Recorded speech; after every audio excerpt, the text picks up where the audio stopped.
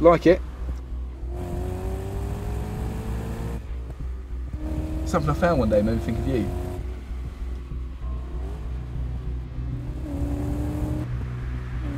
Go on, tell me, what do you think?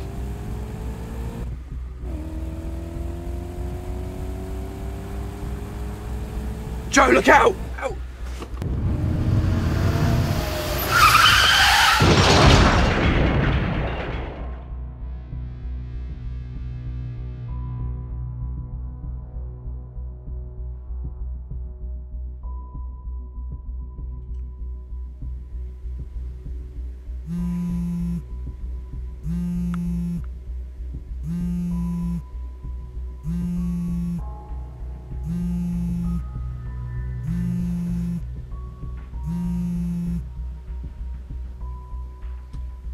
Hello, Mum. I wasn't expecting to hear from you till the weekend.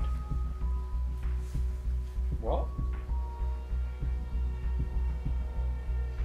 What happened? I'll be right there.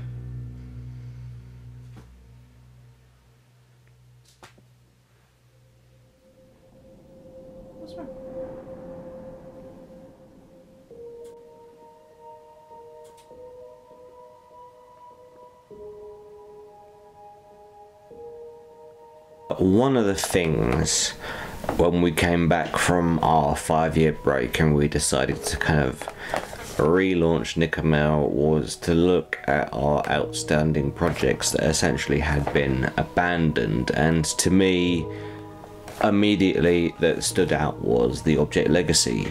This was a film that was at currently was over two hours long and was about 80 to 90% finished. It just had a few missing scenes and a few character arcs that weren't completed. So, to me, obviously, it's the ending of this epic kind of story I've been telling, and I wanted to finish it in some way. So, I, I went away after we'd come back and thought about it for a second because with the shape of things to come, that was essentially me put dipping my toe back into the world and kind of going this is kind of like an abridged version of how the the, the film kind of ends. Um, and now with that in context i thought well that would be a great way to do the reshoots. You have the shape of things to come before Object Legacy, and you, you with that knowledge you go in, and with our new plot line with the reshoots, we have essentially this a similar storyline to the Businessman where the whole film is a flashback and now it this subplot with uh, Mr. Myers and Jack having this conversation discussing what's what's real what's happened what you know it, it's it's going to be an interesting through line to the story and it will also help fill those gaps that are missing because over obviously the the over 10 years where we started this project some some actors have left some actors are unable to return. So we had to figure out a way to essentially fill those gaps where those actors are missing. Life is a weird experience. life is a weird experience. One minute everything seems perfect, one minute everything seemed perfect and then suddenly it all goes downhill. and then suddenly it all goes downhill I thought my life was over, I thought my life was over, but I was wrong. but I was wrong.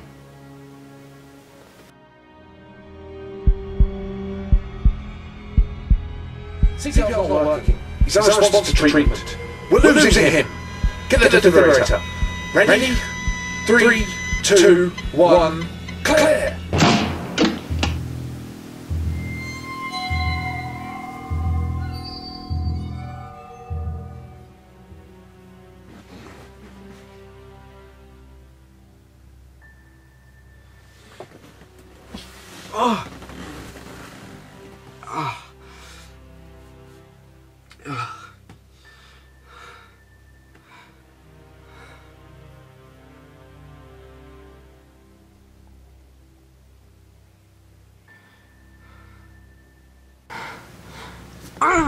Who do you fight for? Jackal? Carl came back for a reason. What happens to this frost? Kill himself. Before he died, however, he told, us of a prophecy a prophecy revolving around five people, five, five friends. And these friends are destined to save the world. Where is Carl? Closer than you think.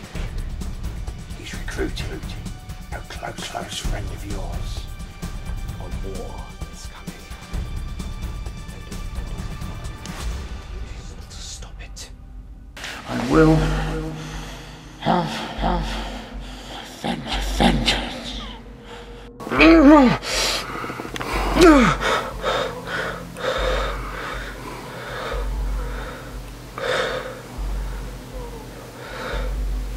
Obviously this isn't the only thing we're reshooting with with these reshoots. We're adding a little bit more with certain characters. I don't want to say too much but uh, I've I've talked extensively before about adding the second antagonist Nathaniel, played by Robin, and we're hoping to bulk up that storyline as well because now in this bigger mythos of the Warriors saga, Nathaniel is such a big character, and I wanted to establish that a lot more. And there's this brilliant scene that I've written that hopefully we're shooting soon between Nathaniel and and Mr. Myers that really establishes like almost the history of this world. It goes back almost 50 years to, you know, really gr- ground down that this world's been around for a while, not just since the the, the object began, but the, the, this through line story began long before the film started.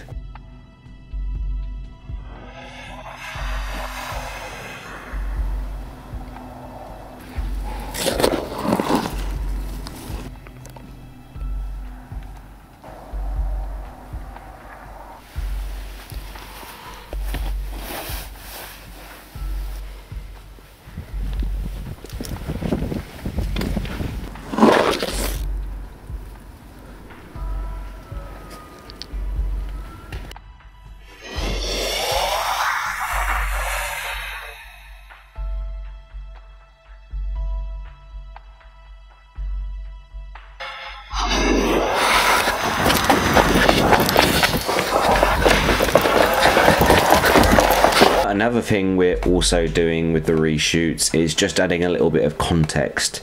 We're, we're filming a new scene where it's essentially a news report about uh, how long it's been between, say, the end of The Businessman when Seth approaches Jack, and then there's like a four to five year time jump. So we have a news reporter reporting what's happened to the Myers family and stuff like that. So for me, these were crucial kind of elements to fill in the gaps for this film because to me it's such a film with such heart and so many people put so much effort into it and that uh, that's why I don't want to give up on it. And now in hindsight starting final report having an epilogue to this film I can now use knowledge of what happens in in future films to kind of go back to lay seeds to that that to that final film so it's going to be interesting to see how that all plays out. I'm really excited to see the final version. Obviously the original work print with essentially how we left the film off has been shown to the cast and crew just kind of you know go look, look this is what we've done so far and it has slides in between where the gaps are to basically say what's going to happen in between the, those gaps. So I, I not only is it going to be nice for me but hopefully the cast to see the differences between that original work print which obviously has no effects or anything but it has all the scenes cut together and then see the final version the reborn version as I did with the trailer of this film and see how this epic conclusion uh, comes and have hopefully some surprises for even the cast and crew. Because there's a couple of new scenes I've written that they don't even know about so it'll be interesting to see how it all plays out and how this leads into final report and possibly the future of the franchise depending on how far we go while the reshoots will add more of Mr. Myers and Jack Harper, I didn't want to take away the fact that this film is uh, focused on Jeffrey and Andrew, played by Stephen Harvey. It's still their film, it's still about them. We're just supplementary characters, kind of supporting their role and bolstering the story almost. I didn't want to take away from the urgency of what the original story was, which is about these two characters finding each other and figuring a way to help each other to escape this supernatural world that has surrounded them and engulfed them and is on the verge of destroying everything they know. So to me, that core storyline is still the main bite of the film, shall we say. That's still what is driving the film. And while we do have excellent B storylines with Seth and Nathaniel and Mr. Myers and obviously Joanna as well, uh, the, the the main through line is Jeff and Andrew and their struggle with the object. And I, I can't wait for people to see that storyline come to fruition. You're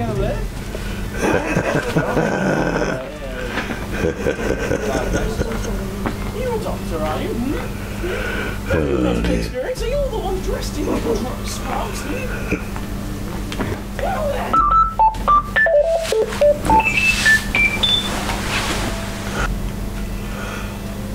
Sorry, guys, I've got to take this. I won't be a minute.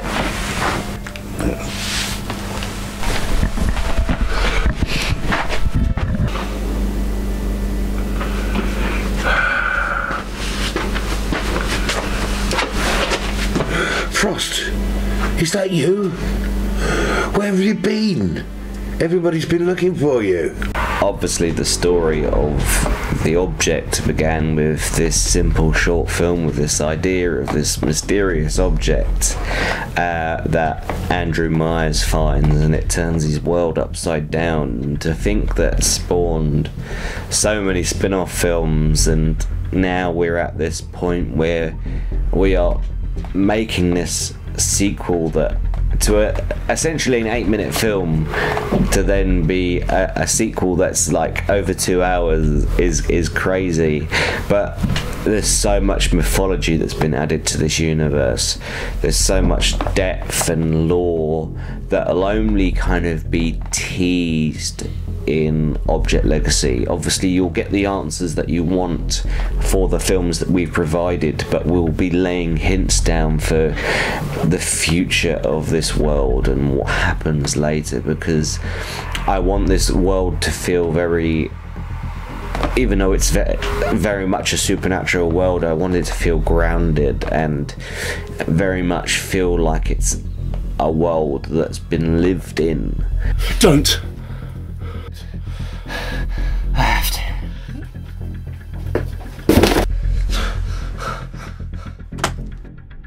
Ironically, I wanted this film to focus solely on Jeff and Andrew and their conflict.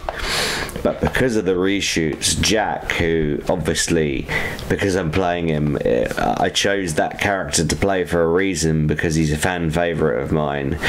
Because of the reshoots, he's now shot up a bit more kind of prominently.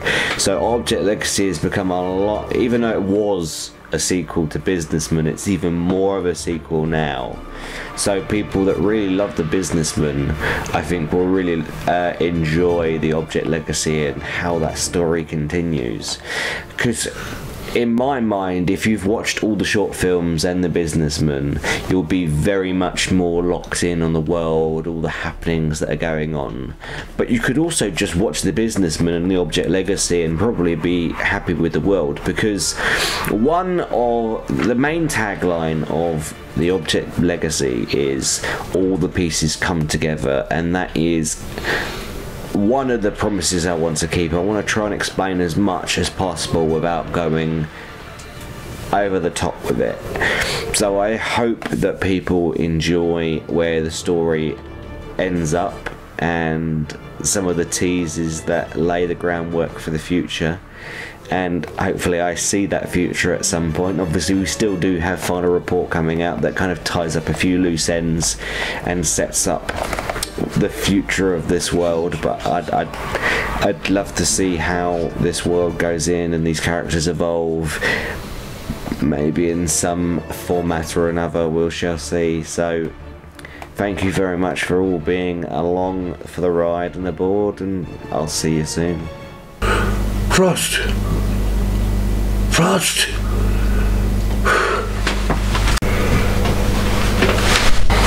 What oh.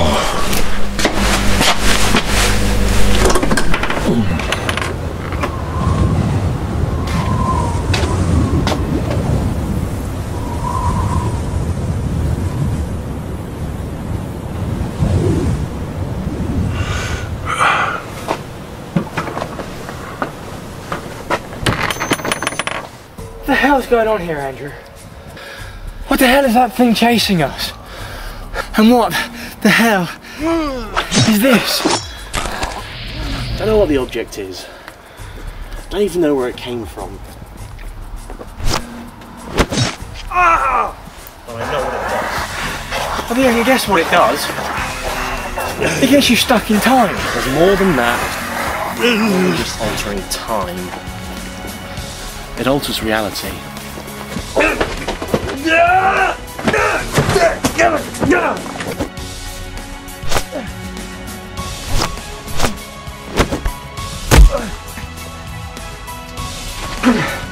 Save yourself.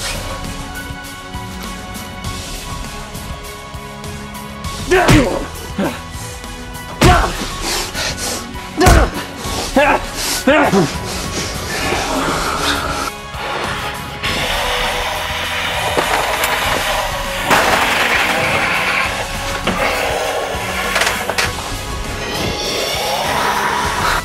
it.